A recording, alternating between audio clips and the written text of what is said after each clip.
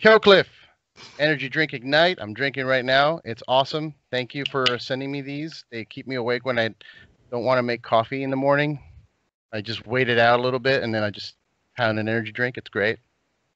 Mm. And also, Liquid Death sent me a bunch of water. So now I ex- exclusively get all of my water from Liquid Death. I even shower with it.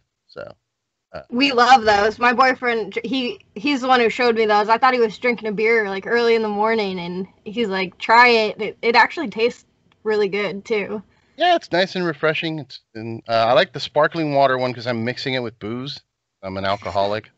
So I just mi- mix it with tequila and a little lemon, and I'm great. It's it's it's awesome. But anyway, uh, yeah, I- feel it's funny. Like my whole, all of my liquid intake now comes from uh, some friends. It's either Liquid Death or my energy from Kill Cliff, and then I get friends sending me beer, so that's nice too. But how are you, Jetski Johnson, Jessie Johnson? I'm good. I've been drinking uh, yerba mate. Ooh, I like that mug. Did you make that mug? No, no, I wish. This is a gift from my dad and my stepmom years That's ago. awesome. It's big. That's why I like it. It looks handmade. That's why I think it looks nice and sturdy. And uh, Somebody made it. uh, so, how's it been? I know that uh, right now, Kill Tony is kind of on a little bit of a break, but you know that's where I met you. I met you at the Kill Tony show, and uh, you're hilarious. I mean, you're, you're like a shining bright star in the middle of this chaos in there. Well, thank you. Uh, it's been it, it's been good. Like uh, I don't know, we worked every week of the quarantine, so I'm really thankful for that. Like having some form of consistency during this huge shakeup of everyone's reality. Uh, Yeah. It was nice to have, even though the shows were really different, like from Better Box to even the new comedy store ones. It was. I'm really thankful that we had that consistency, at least in my. I don't know. Yeah. Now I've kind of just adjusted to this reality. Like people keep asking me about the lockdown here from other states. They see like these headlines. Oh, you can't even go on walks now in California. I'm like, it's not that bad. It's Yeah, guys, settle down. but then I remember like how how used to the lockdown I've become, where I'm like, we can still do everything we've been doing, except basically all we can do is support big business. so Right. like, right? Yeah. and I've just or- kind of become used to it. Yeah, it's weird. I mean, you have to. I mean, what else are we gonna do? I mean, move. you- Some people can't afford to move. You have lives here. You know, you have family members established. Uh, you know, work connections or anything that you got. Like some, you know, some people are lucky that they can up and go, like like Tony and them, and and and Joe and and pretty much everyone is, seems to be moving to Austin right now. But uh, I I don't know. I I think that it leaves opportunity here for people like the people that are here to to, to you know work like Yeah. you guys you guys are going to get opportunities now because you're taking over a void that's being left behind It's kind of win-win for everyone when you look at it that way, because even the people moving that are more established comedians, there's opportunity for them as well to perform. Mhm. So it I'm with you on that. Like I can't I can't move right now. I definitely want to visit Austin for sure, but I've never even been to Texas. Have you been? i have i have i've been thankful or thankful blessed uh i'm thankful that i was able to take these trips though uh with a band you know just touring the us we we spent like four days in texas because it's such a big state so you Yeah. gotta and you gotta hit like pretty much all the four corners if you want to you know if you're if you're in a band that's touring you want to do as many shows as you can but uh yeah it's a it's a big state. I like it. It's you know it's true what they say that everything's bigger in texas too. Like i don't Like know. literally? yeah literally. Every like the beers are huge over there. Like i went- in the gas station you get these 32 ounces that are like these barrels. Like this was before it became common to see like you know 40s and shit everywhere else but Tony's Uh, gonna look like a little elf out there. it's uh yeah. Yeah but that's cool i mean i think he'll stick out obviously he'll stick Oh, out yeah. from the from the I, bunch I think he's really happy there. I think everyone. I, I I hear some comics like you know I'm I'm like in the I don't even know if I'm in the in between. I'm still kind of working around, so I I hear a lot of like whispers about the people moving and just like why are they moving and and I kind of I kind of get it. It makes Yeah. sense to me. If you want, if that's all you do is perform, like you go crazy out here. So Mhm. why not move to a place that opens more doors for you? Sure. Yeah. I mean, I know that definitely they're doing shows out there with with a live audience, and that's cool. But I mean, I'm still not comfortable with that idea. Like, I yeah, I definitely want live shows back. I miss it, obviously. I mean, who doesn't? That's Yeah. performer. Uh, but at the same time, like, uh, I'm not comfortable with that until the, there's a good vaccine out. Like, everybody's taking their shots like we do with the flu every year, and, and we're kind of have a grasp on the situation. Then sure, I'm I'm down for I'm down to be in a crowd too. But even if I moved to Austin right now, I wouldn't be going to these shows. That's what I'm trying to say. I would be waiting for Yeah. a vaccine. Weird. Yeah. Well, I heard there's one out. Uh, yeah, yeah. Some, I, was it today? They said that they, somebody got approved. Pfizer or one of those big company vaccines is now available. So there is a light at the end of the tunnel. And like I said, I, I'm I've been talking I've been talking to Joel, uh, your bandmates, you know, Chris, and and Jeremiah, and I I just kind of like I think this is your time now. This is this is the time for the younger talent that's been you know putting in their dues like you guys. I mean, you're doing it every Monday, and you're doing new characters, and you're doing on the spot kind of improv. You guys have you're, you're like masters at it. It's insane. I've definitely felt like I've been in sketch comedy for years, well before joining Kill Tony. I don't know if a lot of people know that. Like if they think I just joined magically and fit in, like I, I. But I will say, since joining, I I know I've gotten so much better, even at trumpet alone, because just playing in an ensemble every week, as to before years had gone by before I played with a group, you just learn, you build different muscles that Sure. you can't learn like just practicing by yourself. So yeah, that like to what you're saying, like we've we've all like together just grown comedically and now I have like a whole wardrobe of costumes. so I got to do something with that. Yeah, Cuz yeah. I mean, yeah, we keep all that shit. Like that's all we personally go get our own costumes. Now we just have like sky's the limit for sketches or you know. Yeah. Yeah. yeah. I mean, I mean, so you got the yeah. show Hit Send, right? That you're starting with uh, Mi- Mitch Burrow, right? Yes. You're not gonna be wearing like you're not gonna be in characters. No, that. we do a segment called Fatherly Advice. So the show is kind of set up in segments. I'll start there, and then uh, we do um, a lot of interaction with a, a live stream comment thread.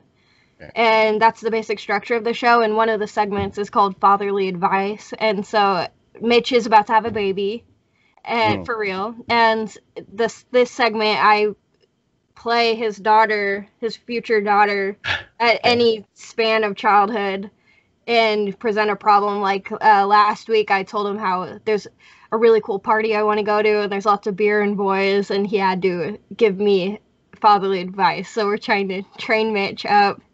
So I'm not getting into costume, but I'm still doing that um, improv. That's awesome. Okay. Yeah.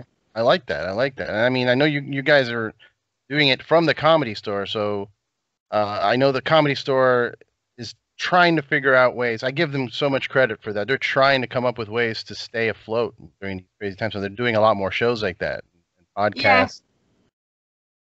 I, I don't know. I think I appreciate that they're doing that, and I mean, it opens up a lot more opportunity for you just being there. You know, coming from there, it carries that weight of the name of the store you know, with it. Yeah, I mean, it feels good to record there. Like, I I like the value of starting a podcast from the ground and getting people in that way. And I've done that before with other stuff, but it it does feel really good to have them backing us. Just Yeah. having that. You go to their page to see us, um, and it's because people are leaving. Yeah, you're leaving the void. It's fine. That's I mean, again, do what you got to do for you. Uh, but I, I, you know, a lot of people see it negatively. Like you were saying, you know, I get messages from friends from other states that are like, "I hear it's Mad Max out there. How you holding up?" I'm like, yeah, I don't know. I had a, a fancy cookie the other day. I bought at a cookie shop across the street. Like, it's fine. I'm fine. Yeah, I mean, my life has been i'm again it's been good. I've adjusted. I don't even think i realize how much i've adjusted to this new reality. I've just i've always been someone who makes the best of a situation. Mhm. uh, but i've got a dog and I, I live with my boyfriend now and we have really good days. We walk the dog we take her on hikes which are still open. Yeah. and yeah somebody my mom said i heard you can't go on walks i said who's know. writing these articles I don't know about all that. I don't know. About that. We're Yeah. fine. I mean, you you go on a Saturday, you go to the farmers market. There's plenty of people all out right now walking around. yeah i i don't know i guess i just have it almost feels like settling down because i've just live a very simple life now but i do get i still get to do like podcasts like this and I've, i did a really cool um, show for a college and it was like this over zoom or Yeah, twitch yeah. or something and mitch and i are able to collaborate so when i feel like i'm not doing anything i have to remember like no you're still doing a lot which has been a pattern my whole life Yeah, and Where I mean, I think that's the biggest, like the brightest stars come from. Like I think hard work pays off for sure, one hundred percent. And if you've done it for so long, you've been adjusting. Like you get, you you've lived your whole life, like you said, adjusting to the whatever comes. You end up, you have that hustle mentality that not a lot of people Yeah. have. And if you have that hustle mentality now, with all this stuff that we have, like you said, all this technology, you can make yourself. You know, you don't need investors and stuff. You know, those will come later. You can Yeah. build something on your own, and then somebody will buy you out like they did with Rogan. You know what I mean? yeah, yeah. Oh, that's what I'm looking for. That hundred million. Yeah, you're looking for that Spotify money. Somebody told me that I, or, or I read about it, and I said, "Can you believe Rogan made a million dollars?" And they were like, "No, he made a hundred million." And I was like, "What?"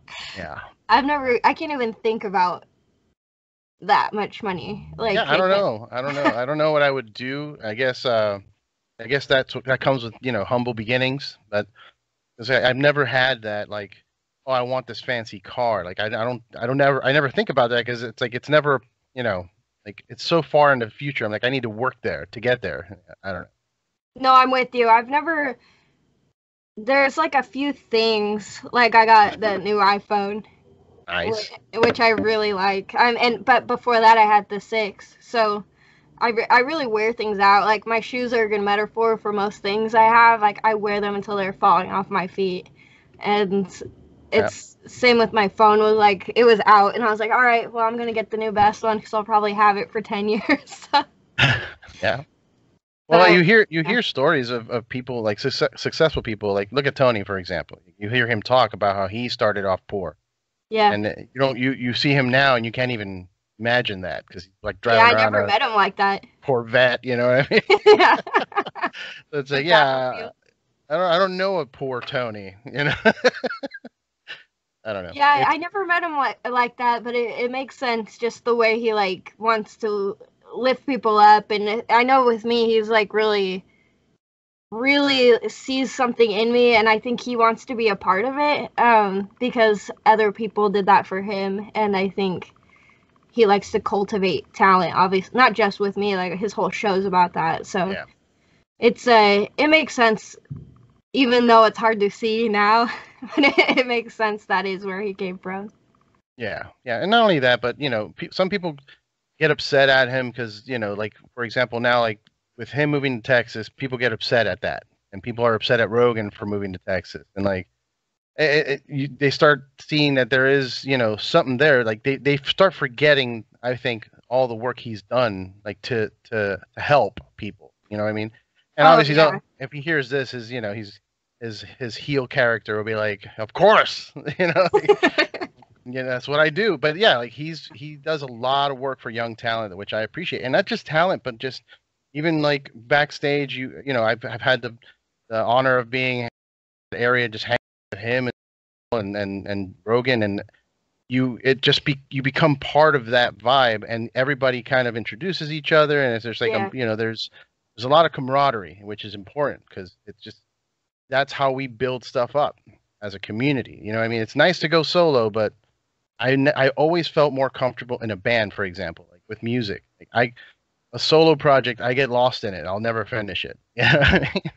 Well, you know what's weird? I I relate to that a lot, and I I so when I was in Arizona, where I'm from, I was watching Kill Tony from my room, and I would work on jokes. And I never, I'd never even been to Los Angeles, and I thought, what would I do if I did a minute? And then I made it out there, and I got up first. First time I was in LA, first time at the Comedy Store.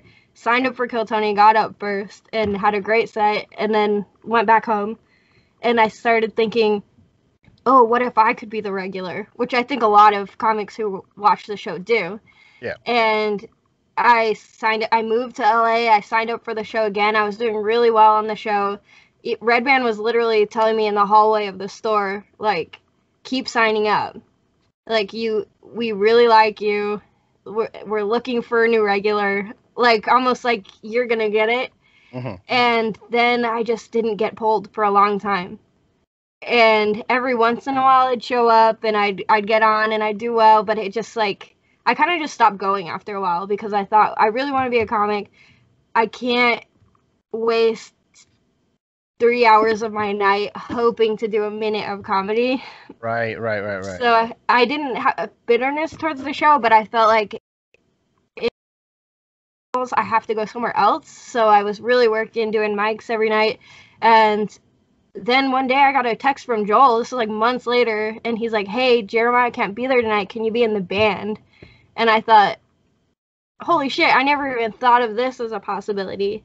And for me, I think to go back to your original point, it was so better suited for me.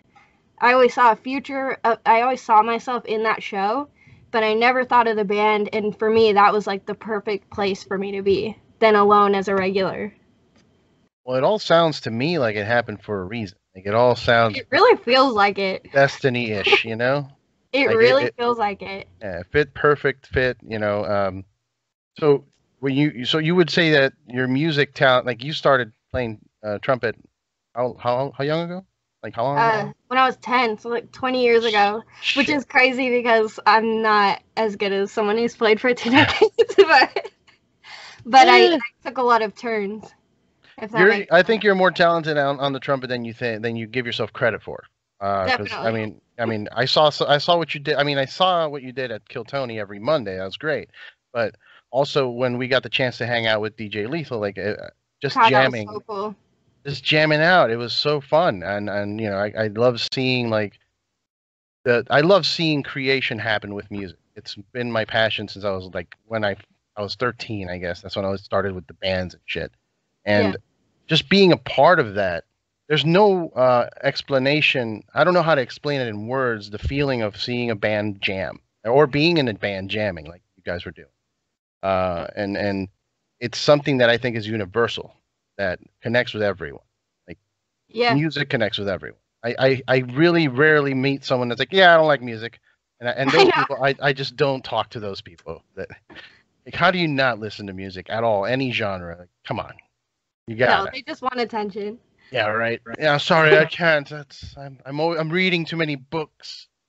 Well, comedy kind of translates to that to me like using Kill Tony as an example. We are the band, but I feel like the whole ensemble is a band in itself because there's moments where like I'll have a joke in my head and I know it's going to hit but there's you know seven other people talking on stage right so you can't just like say it and there's like plenty of moments where tony will see me and he'll know i've got something and he'll kind of like give the floor to me mm-hmm. and it, it's almost like jamming in a band where you're like you know where you're you know somebody wants to do a solo or they want to lay something down and everybody kind of communicates telepathically in a way where they're like okay you go and there's plenty of moments like that where I don't know. There's this like unspoken um, communicating going on.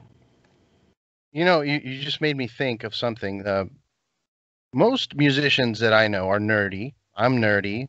A lot of my friends are nerdy. They because we study it. You know, it becomes like yeah. a nerdy thing. You study the music, and you study musicians, and you study styles. And you know, I took jazz history, you know, classes in high in college and stuff. You know, you you get you start diving in and uh, it, it's it's a like you just said telepathy right so yeah. there is there is something there that that we communicate telepathically during using music so why aren't there more people studying that? Like you, you talk to people about telepathy and they're like, that's science fiction. That's the X Men. Like, yeah.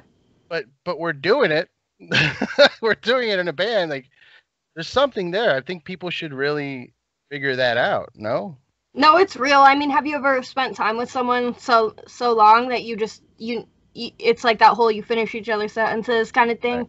Yeah. Like, it's true. It's a real thing. I think people all accept that, but then when you call it telepathy, they're like, they think of mind readers and get freaked out.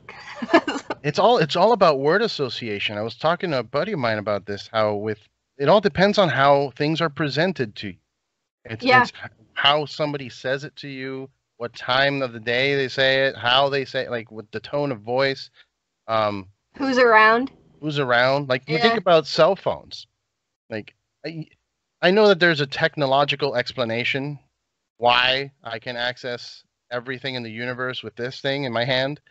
Um, but I don't know what the technological explanation is. So in my head, it was just kind of I accepted that this does that. You know, I'm just like, okay, that's what that does, and that's well, it. you know what's crazy is how if you Google search something like I Google searched uh, like uh, dog harnesses for my Mhm. dog, and then all my ads changed to different dog harnesses. oh yeah, that's the and algorithm. Everybody knows that, but to what we're talking about, there will get to a point where I just think about dog harnesses, and my phone will know me so that it will finish my and start Mhm. showing me results before I even type it in. Yeah, yeah. No, that that that connection is there, and I think yes, in part there is an algorithm, but in another part, it's us reaching out to telepathically or whatever.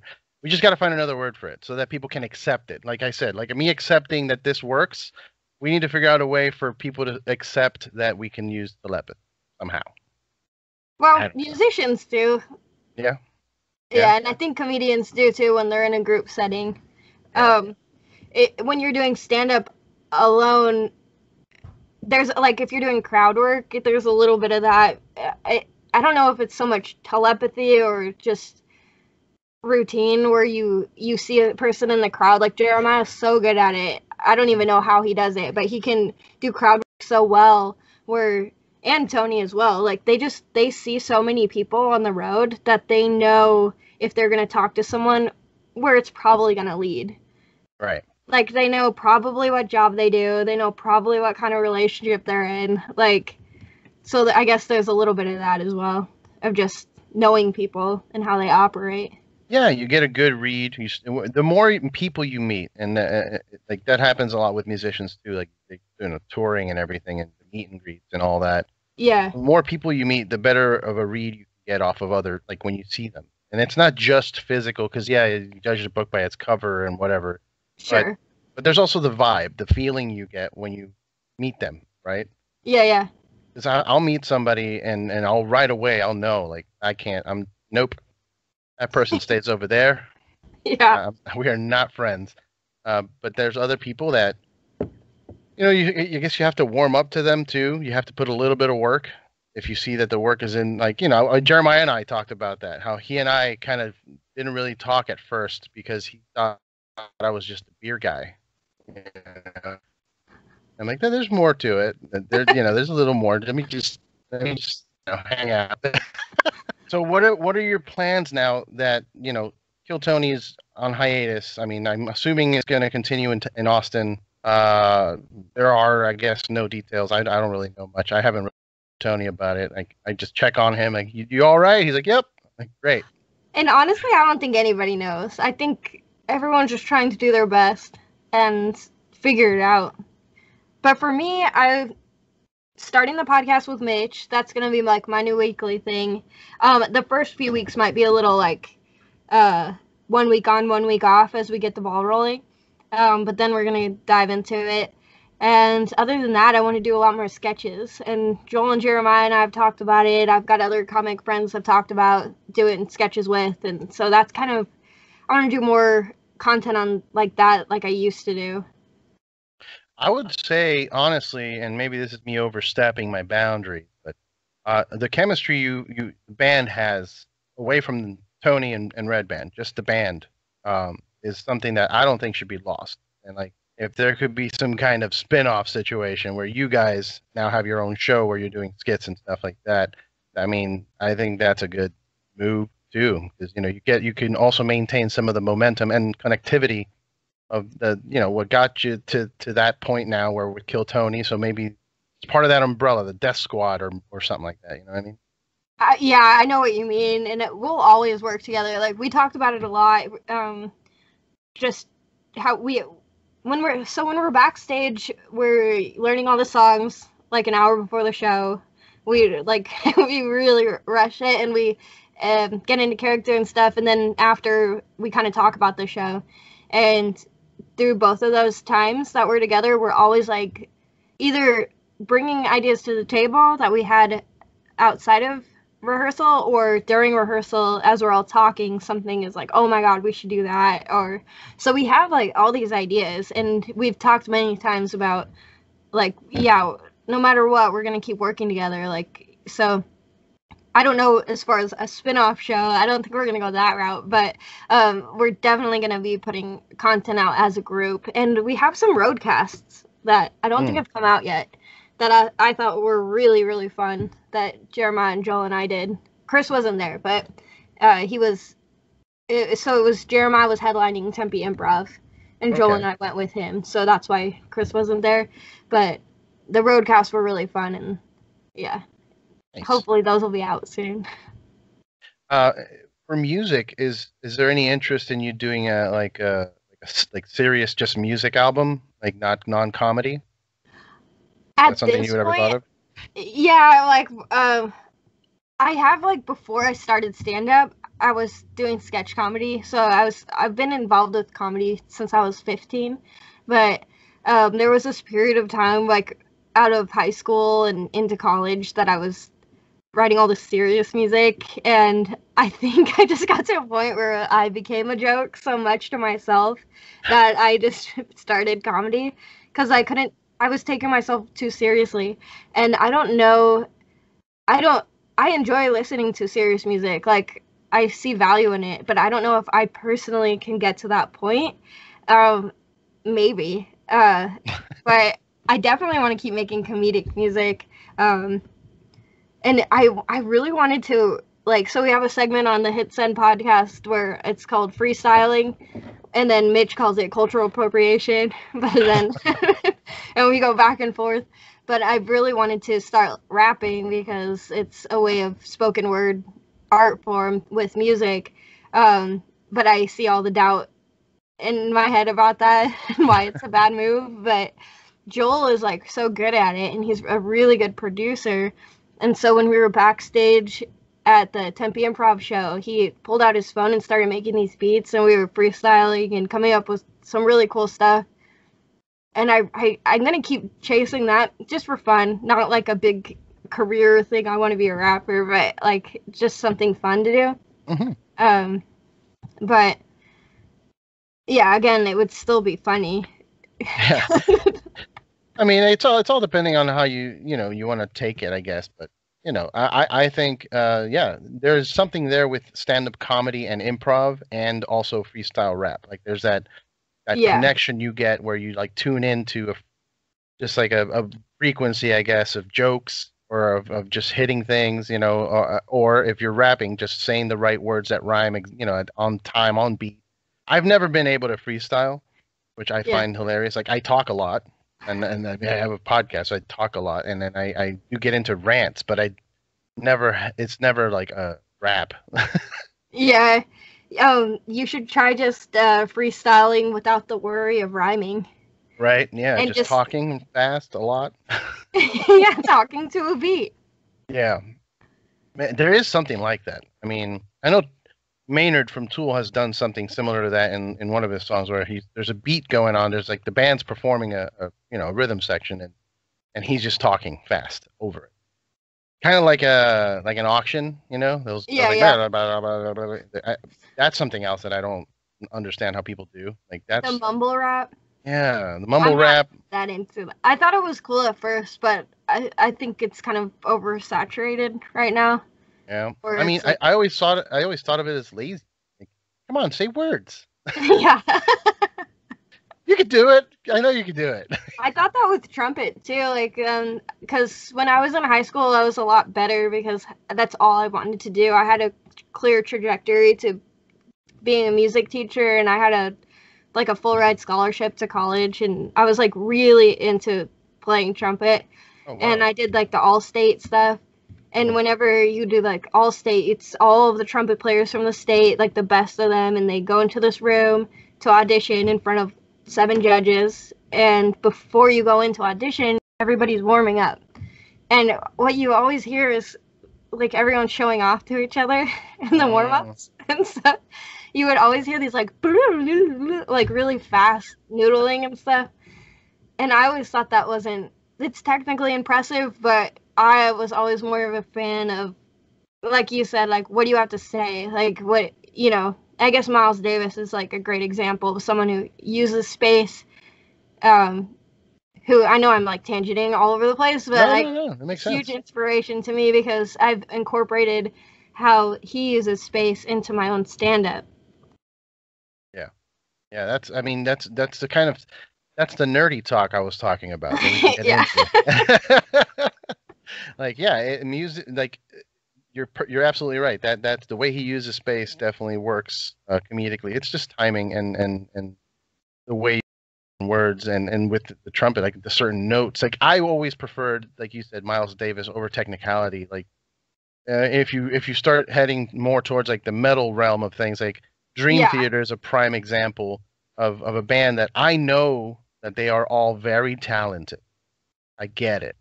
I don't like I don't connect with any of the music. I can't. It just it's too much. It's wankery. Like yeah, it's it's showing off. It's like check out my guitar solo. He's like, oh yeah, check out my drum solo. And then like the keyboard, check out mine. And it's like, oh god, it loses the soul. You know, like there needs to be some kind of message with the music that you can connect. To, you know? Yeah, something different, something unique. Like that. I think that's the goal. Um, with any art form, or even just being a person. Like you don't want to be um a cookie cutter version of something else. Like you want to enhance your own voice. And so it's not so much you should use space or you shouldn't, but through doing that, you learn how you want to say something.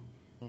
And it's, you know, it's not or how you want to say it. It's it's all just uh, like so what the um, song, one of Miles Davis' most famous songs, and he solos on it. And I was reading, here's more nerdy stuff that uh, that he he was really experimenting with how to make notes sound different on mm. trumpet. So like every note is just a new version of how to play it. Like some of it sounds bad. Like some of the notes sound really like uh, on a, on a textbook textbook bad, but yeah. Um, you know, it's very experimental with that, and so I don't know. I with delivery and stand up and in trumpet, like I always try to think of is there a different way I could play this or say this, um, which I think makes it more unique. For sure. Yeah, I, I, and that's that's where I get nerdy. So I don't get nerdy with the technical, like the book stuff. I get I go into I get nerdy into the experimental aspect of like I got really into you know during the jazz classes I was you know they were teaching Miles and Thelonious Monk and you know all these different jazz artists and uh, I was definitely more into like the Chick Corea, like oh, oh yeah. that guy that guy's doing acid. that, all those other dudes are doing coke. That guy is taking acid. Uh, that's the guy I like to listen to. Uh, always. I, I, don't know. I, I, I guess it's because I've used LSD in the past. You know, like it. it I guess that's the connection. You know. Uh, yeah, and you're like they're making it work really well. yeah, it's it's a different vibe. Like you know, uh, we're definitely inching closer to a time where it's more acceptable now. Like look at Oregon with the passing of the, you can have mush like medical yeah. mushrooms and you can carry whatever you want drug wise in the city. Like that's Mad Max to me. Like that city. Like you, you talk about LA getting all crazy, but Oregon, you can just walk around with cocaine now. It's not. It's Whoa, yeah, that's weird. The mushrooms make more sense to me. Yeah, mushrooms fine, you know, but like now you can walk around with cocaine and heroin, like it's no big deal in, in Oregon. That's a little much. Uh, but the, the the psychedelics definitely. I mean, have you have you tried psychedelics? Oh yeah, I I tried a lot of psychedelics right out of high school. Um, Mm. I didn't do many drugs in high school. I, I started smoking weed in high school, and then once I got out of high school, I I wanted to like try everything.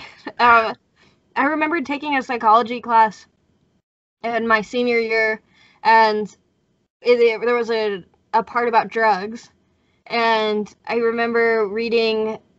Uh, we had to like read aloud and there was a part in the book about acid and it says like people reported that when they did acid they could see sounds and hear colors and i i couldn't i like i spoke out loud without i was like whoa that sounds awesome and the whole class the whole class started cracking up and i Oh, didn't mean to say it out loud and then um and because everyone just kind of laughed and nobody was like no that's bad Yeah, I no, thought, no okay. gasp. Was Yeah. no, all I thought after that class was like, I can't wait to try acid. So, that's what I did, and Yeah. and also I I kind of have a joke about it, but I, I won't. I'm not gonna do it. But I I basically just talking about like you study all these jazz musicians, and that's who you want to be, and all of them are doing drugs. All the ones that I respected and wanted to be like. So I'm thinking, okay, this is the path I should go down if I really want to play jazz. Like I should experience that and I don't know if that was good or bad, but it's the devil's music. The devil's music made you do drugs. well, you know, that's kind of a, like a lesson I think you you want to walk down the road least traveled. However, if you're trying to be somebody like some that's already traveled down a road, you kind of follow their path until you realize you don't want to be exactly like that. So I, I I don't do acid anymore. I do mushrooms every once in a while, but other than the occasional weed like and drinking, I don't really do anything else because I just I think I've had it, enough of it. Bad enough. Hey, you tried it out. That that was that's you know you had your fill. I mean, I don't do uh, acid or, or shrooms anymore either. I, you know, I I wouldn't mind doing shrooms again sometime, but I feel like I'm now that like at that point in my life where I'm like, well, I need to plan this out.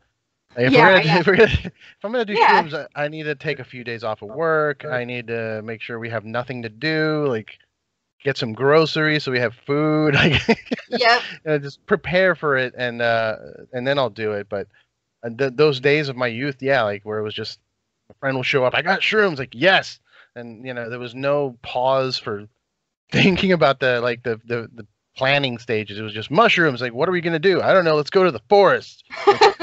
Oh shit. Okay. the nights feel so much longer when you were younger? Like, I remember one a night could feel like a whole week for compared to my nights now.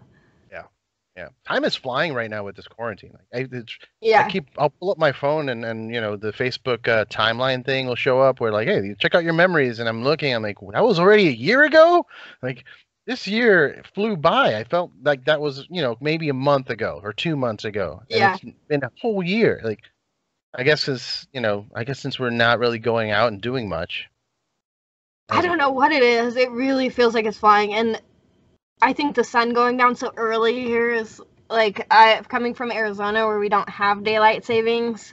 It's just such a trip to me. I and and I was talking about it last night. Before, it's not like the sun is get going down lower than last year, but last year we were, you know, I'd work all day and then I'd go and the sun would be down when I got off work and then I'd go do mics all night. Sometimes three mics in a night.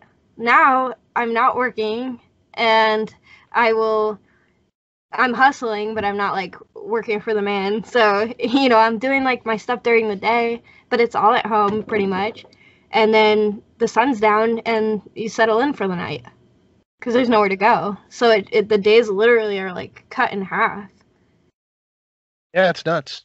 And and you know, I'm I'm I'm thankful that I have a job. I you know, I'm, I'm glad that you are hustling and, and getting by, but you know, it's it's rough when there's you know, most of my friends are actually from the service industry, bartenders and Yeah. stuff like that. So they're they're all screwed and you know, they they they're not creatives, you know. They they have to now figure out if they can be creatives, you know what I mean? Like, well, I'm stuck here. Should I start playing the piano or like how can I create content? You know? It Yeah, sounds, sounds like a transformer is outside of my window destroying the environment. Like that's what that sounds like it's going on right now. Right now, I can't hear it. Good lord, yeah, there's like a dumpster or something or a dump truck outside. I think. the rabid dumpster just coming to life. I, it's what it sounds like. It's just marching down the street. I, I you know, th- th- you know, not to change the subject and go on tangents, but that's, I don't, uh, I wouldn't be surprised anymore. Like that's where we're at now with, with the, could happen. I keep checking and seeing news articles about aliens and like some dude talking about how there's an actual galactic federation. This was on NBC News. Yeah. They're talking about the Galactic Federation. I was just like, all right, well, I guess. I'd get ready for it. I so I used to be a huge conspiracy theorist. I Yeah. talked about it very briefly on Kill Tony like years ago when I was pulled out of the bucket. But I'm like again, I don't take anything too seriously now, so I'm not super in it anymore because I don't know if you've ever met a conspiracy theorist who isn't very serious. Um, they're all very serious, so I kind of broke away from that. But I kind of for since like 2008 have been prepared for some sort of barter system where and i it's weird i it wasn't until you just said something that made me think about that but it, it since you know for years and years i kind of because all the theory all the conspiracy theories are about a global elite that you know there there's there are people or reptilian shapeshifters or whatever you want to believe in that want to rule the world and illuminati whatever. And so World Order. yeah and so at some point you're going to need something to barter with. And i think that's why i've kind of confidently walked into stand up because it's such a risky career path but i thought well it's one thing i'm good at and if i work at a corporate entity it's i probably won't sustain there. Um, not just like losing my mind like people say but like literally i don't think i'll have a job there forever which is what we're seeing now. So many people have lost their jobs. So I dove headfirst into creating a skill set, and yeah, I'm glad I did because it's kind of all coming together now. Where you're seeing everybody pushed indoors, jobs stripped away, big business is the only thing open. It, I'm probably gonna regret this whole chunk of the podcast later, but I wouldn't be surprised if we saw like a global elite in our timeline. Sure. I mean, you're kind of seeing it form now with what's going on. You know, not not talking politics or picking a side of anything. You're just I'm just observing what's happening, and it's that, Yeah, you know we have the somebody who was elected that now the old guy won't leave, and he's you know trying to build which a, old guy? Yeah, right. I know. uh, he's trying to build you know of supporters to to kind of help him prove his point and then you know the i don't know it just seems fishy Yeah, like it- all of it seems kind of like wow well this happened in cuba so I yeah, don't know. it, it seems fishy, but also it's it seems like um, exactly what prophecies have told will happen for years. oh, They're yeah. just you just when you start bringing up words like Illuminati and reptilian shapeshifters and gold and it's again it's it's word association going right back to that you know you bring up anything like that people immediately either dismiss it or get very serious about it yeah, And you know, I, I I'm like kind of like you, where I just kind of take it in stride. I listen to it. I actually I don't want those conspiracy theorists to go away because they're very entertaining. You know, I don't want to silence them. Like Sam Tripoli is hilarious to me. Like he's the best. And then he he recently interviewed uh, uh the homie Steph from the Deftones, and that didn't go well for Steph. oh my god, I, I love Steph, man, and but he he talked about flat Earth and uh, all this other stuff, and I was just like, man, I somebody should have known that Sam was going to bring that out of him. Yeah, yeah, no, I can't imagine going on that podcast and what I would end up talking about. but I think that uh, I think when you get down to it, it's like a religion. You have to believe in something, and even if you're believing in nothing, that's you're choosing to believe in in nothing.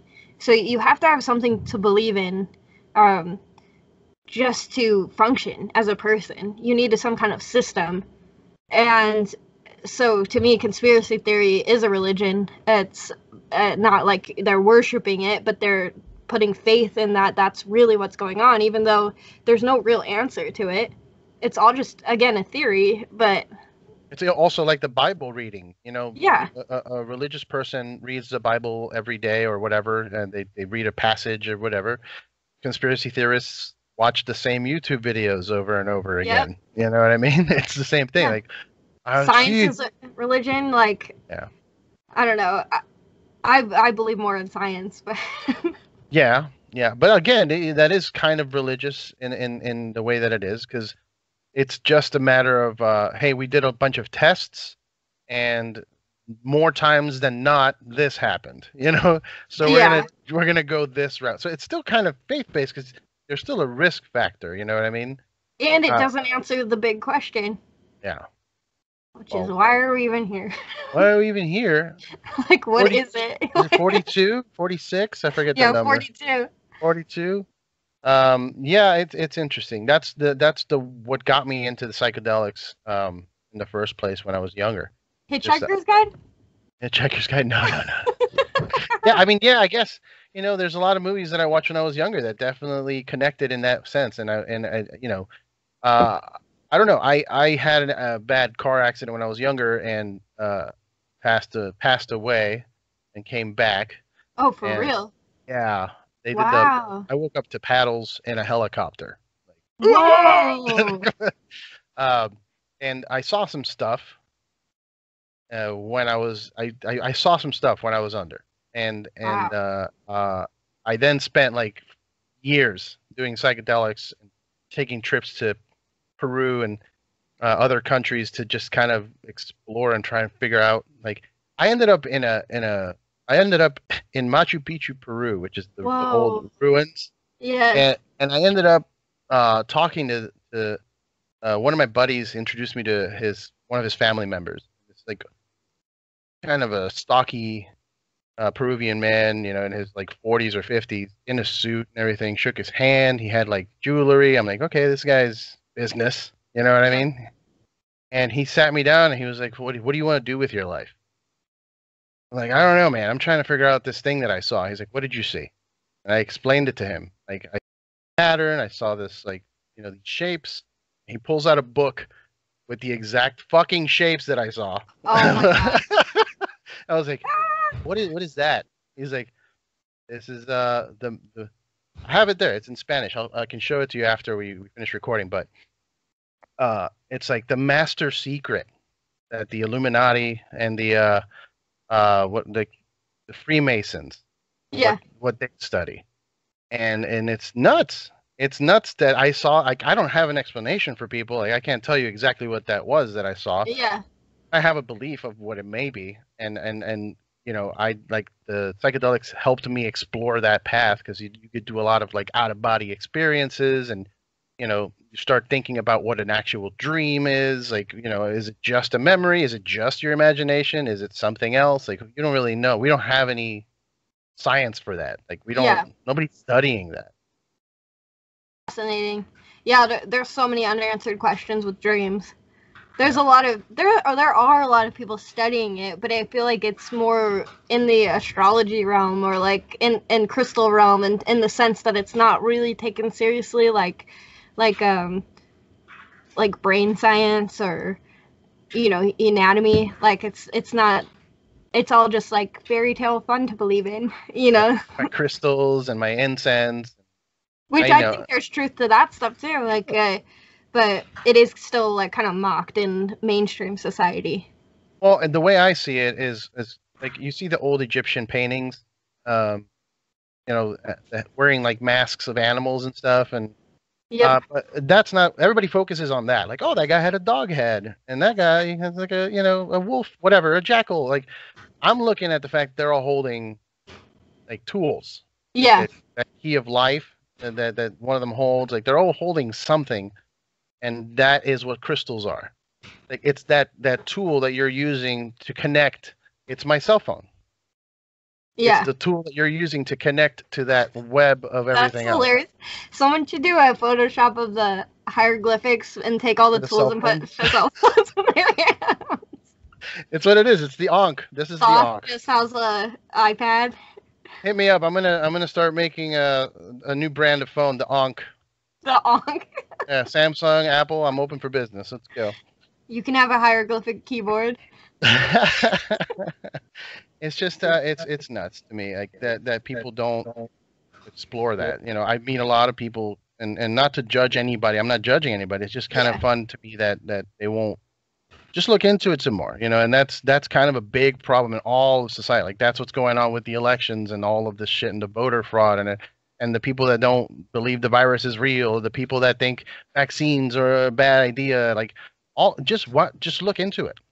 Yeah. just think of It's few it's minutes. stuff like you can.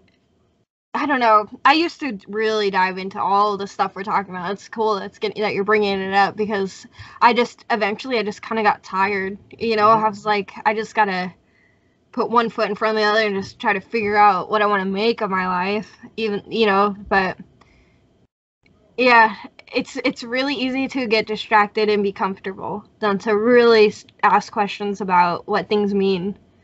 And I, I get it, like people should do more, but I sometimes I just get exhausted by all of it because Well, there's there's no answers. yeah, there's no real answer. There's no solid answers, and also that's how there's a very thin line from enjoying uh, looking that stuff up and and becoming uh, the the the methed out homeless guy on Yeah. Hollywood Boulevard. Like, I'm telling you, the lizard people. Like that that is very thin line to becoming that. You know. It's true. It's such a thin line. Yeah, I, I, I don't know. I I forget what I was gonna say.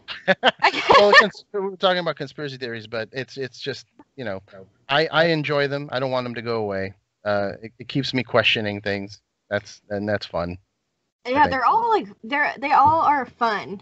It's when you really shape your life around it that it when it can get scary. Like especially around this whole virus and stuff like because it is something that we've never seen before in our lifetimes, this kind of global impact.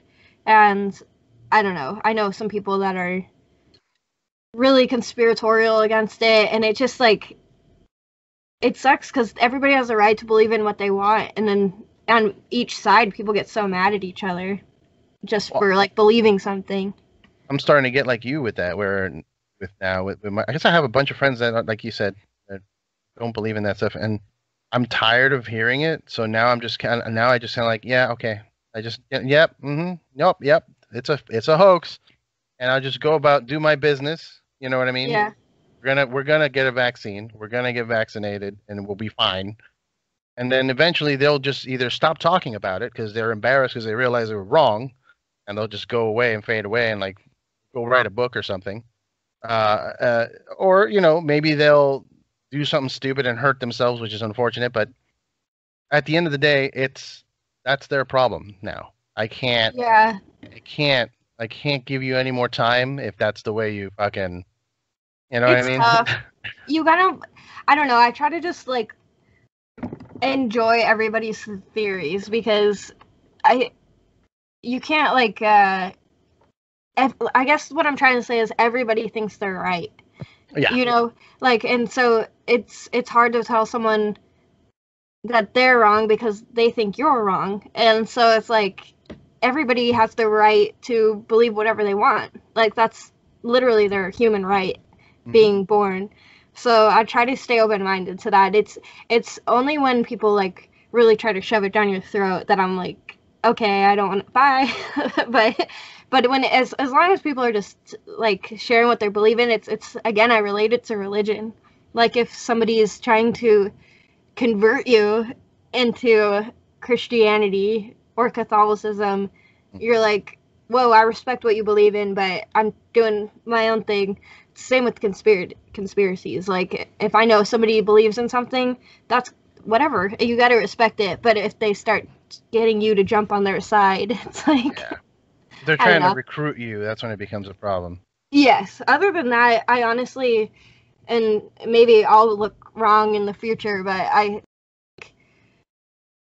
it's, I don't know. I don't try to stop anybody from thinking a certain way because Yeah. it's just, I don't know. We all, it's, it's a coping mechanism. When you really think about it, it's, it's just a way people get by from their Mhm. life. They, it takes a long time to shatter a belief system and you can't really do it to someone else. You have to do it within. Have you ever had like a belief system shattered?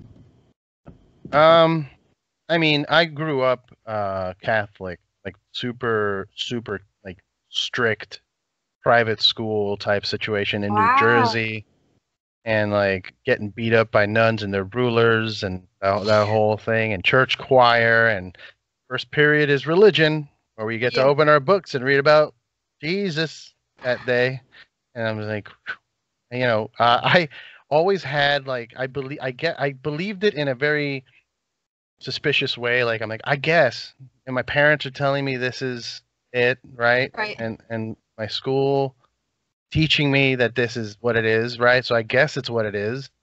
And then I I don't know what happened, but I I it happened. I I think it was because of dinosaurs. I was in seventh grade. Oh. I, I I brought up dinosaurs because I'm like I saw someone had like dinosaurs. I'm like, what the? Well, so what's up? Like, what's that? the Where's that? kicked your ass. She started beating the shit on me, and I started laughing. oh my god. started laughing like on the floor. I was on. I just remember being on the floor, cracking up, crying, laughing, and she's just whacking at me with the with the ruler. And Mhm. then uh, the, they called my mother and told her that I was possessed and I needed an exorcism. Whoa. And uh, my mom went over there and spit on the nun. Oh my god. How dare you hit my son? Dude, that's badass. Yeah, I've never heard of anyone spitting on a nun before. Yeah. How fucking dare you touch my son? And then she just pulled me out of there, and like I, you know, I told her I'm like I don't want to go back there. Are you kidding me? Yeah. What's going on? Why am I getting beat up? What is this? She probably was not thinking about that when she sent you to Catholic school. Like, that's supposed to be a, a place of love and peace, I would think.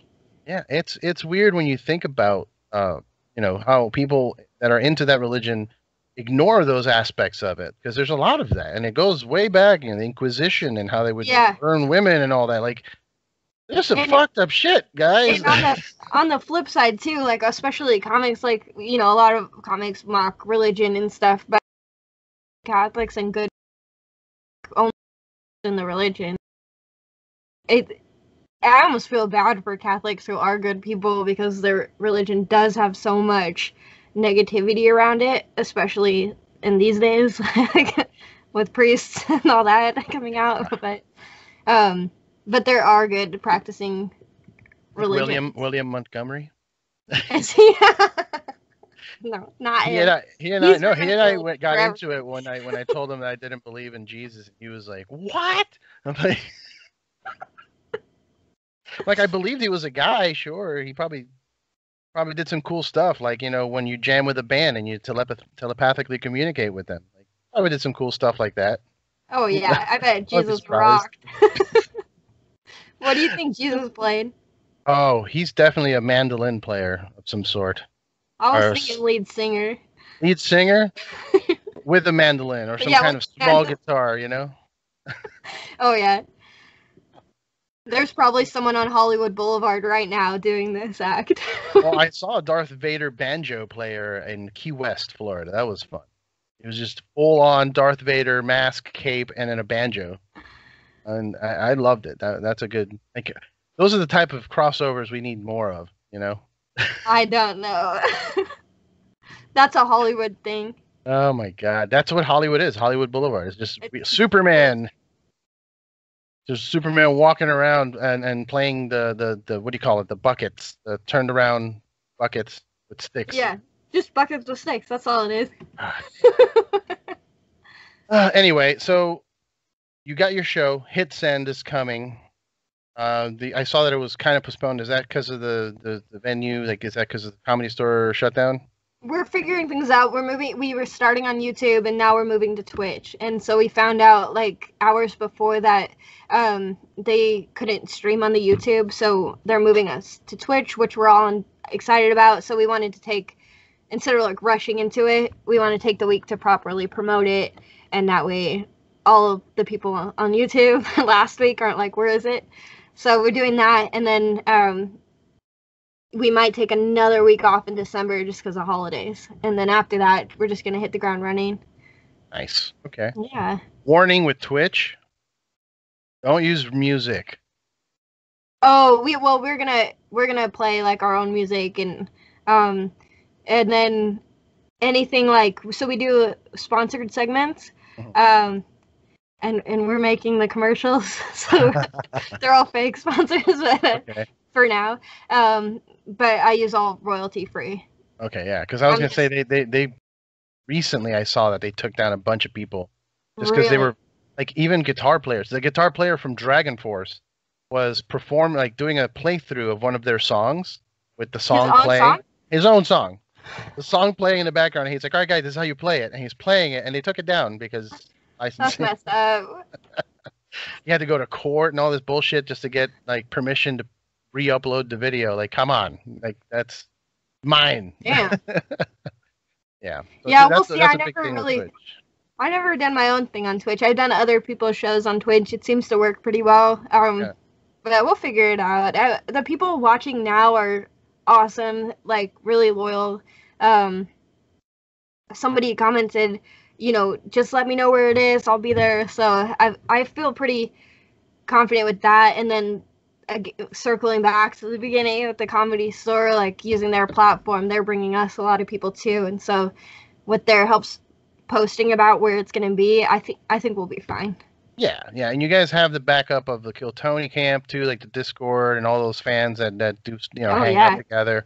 Um, and and and you guys are taking advantage of what I think is now the future of of content, which is creating stuff but also interacting with the audience. Like the live Twitch chat thing is very important. People love that. You know, yeah, Mitch was like really um, gaslighting that, and I or, or putting the gas on that, and I was happy because it it was really really fun the first episode. Yeah, That's what gets people engaged. The fact that you know they hear their name or like the, the fact that they can type something and you respond to it like that. yeah, Uh, also, that stereo app that just came out not too long ago. yeah. Where you were on our episode, and that was so fun. Yeah, I love that thing. I want to start doing those. I was thinking of doing like a separate, you know, uh, uh, just a little tiny show version of what I do Yeah, like, on stereo because I just I like the interactive aspect of it where people can chime in. I just so far so good. I've I've very rarely seen a problem, but it, it seems ripe for problems. You know what I mean? Like inappropriate things being said, or oh yeah, yeah. you know, uh, just dumb people saying something harassment style. You know, like I don't want that. I, I wonder if there's a way to pre-screen any of that. I don't know. Yeah, that is a good. I don't know. There's got to be a way. And in fact, if it gets so bad, you could have me just call in and leave really inappropriate messages, and so the app will then make a censor for it. Oh yeah, yeah, yeah. You know, we'll just get ahead of it. Um, so are you doing more of that stuff with stereo app or no? No, I so I didn't. I might now that I did get my new phone because before my phone was like overheating and like uh, it, I think I had to recall Mitch three or four times. Oh shit. Okay. and obviously it's not the internet because I'm on the same internet now and we're talking fine. So Yeah. It, it was my phone. It, it it would literally overheat to the point where all my apps would just start opening and it would start writing text to people, which was just gibberish. You know, like it was like it looked like it was possessed. So I was gonna like, say, it sounds like your phone's possessed. yeah, and I lived with that for like a year, and then I was like, I think I better get a new phone. so, Yeah, it happens. Sometimes you you know, like my phone, the GPS stopped working. So like I I, I got there was a few times I'd go out for some chores and then I'd get lost yeah, because I was. I usually that's how I drive these days. I'm, I have so much going on in my head. I'm I'm either listening to a podcast or I'm I'm listening to some new band that sent me something and I'm just listening and, and I'll look up to the GPS and it's telling me where to go and it would be frozen. So I keep looking up. I'm like, I guess I just keep going straight. oh my god. And like you know, ten minutes later, I'm like, what is happening? You're like in Arizona. Yeah, uh, yeah. So it, it- that I, I was like, all right, I guess I need to upgrade my phone because Yeah, GPS is done working. yeah. But anyway, um, hit send, guys. Where can they uh, subscribe to watch this on Twitch? What's the Twitch uh, handle? Um, it's gonna be hit send, but um, yeah, that we're still working out. Cause right now, I think forever you'll still be able to watch it on the Comedy Store YouTube page. Yeah. Um, but we'll just have to post that after we record live. But if you follow uh, at Hit Send Podcast on Instagram or Twitter, um, you'll see updates, and it's going to be every Monday. We do Monday at 6:30. That way, if you are coming from Kill Tony, it rolls right into Kill Tony, so um, you won't miss that. And it's like a double feature. But yeah, at Hit Send Podcast on Twitter and Instagram. The, there first, and then you'll see all the updates and where to go. Very cool, very cool. And you're still doing, uh, you're still selling the, the, the ornaments online. I am selling them, and I'll plug them because I only have a few left. Mostly okay. plastic. I have like three glass ones left. So, um, yeah, if you want to get them, now's the time. So. It's the time of the year, guys. Ornament time. I have, yeah. I collect a, a new ornament every year. We buy one with the year on it. Uh, my, my wife and I, we, we put a little picture frame one. So it's that time of the year. Get get a jet ski ornament. Put a little picture in it if you can. I don't know how you how you do them. I know I saw you have like uh, stuff inside, but how do you? Yeah, I do. so it's you first you can get them on my website jetskijohnson.com. There's a merch tab, and then they're all handmade. I put um like blue tinsel in it. Like I try to make it look like waves, and I put a, a little foam cut out of pink glasses and a silver trumpet that are like floating in the water, and then nice. it says jet ski on the front. Very cool. That's awesome. Yeah. Um, and then yeah, everything else, just follow you on social media if they want to follow your adventures. Yeah, please do. I'll be posting more sketches up there, and all my content's on mainly my Instagram. So. Yeah, and definitely look look through some episodes of Kill Tony. If you haven't by now, I swear to God, everybody that's listening, like I've I've had everyone from the show on this show. I think at this point. I think so. Except maybe Redban, but everybody else has kind of been you know there's a reason for that. There's a reason i like, if you enjoy this show that i do here and the, the guests that i have there's a reason i pick the guests. Is because i enjoy talking to them. I enjoy what they do. So thank you uh, Jessie for your time. Appreciate it. Thank you so much. This has been so fun. Thanks for having me. I had a lot of fun. And uh, yeah we'll, we'll, we'll be in touch. That that that dj lethal song needs to uh, yeah when are we gonna hear it he's he's in he's in quarantine. He's he's pretty uh he's locked down from the virus. So hopefully when things loosen up, we'll be able to go hang out and and finish it up and, and get it done. We'll get All it right. out. Um, don't go anywhere. I'm going to show you that book real quick. But thank you guys. Bye. Cheers.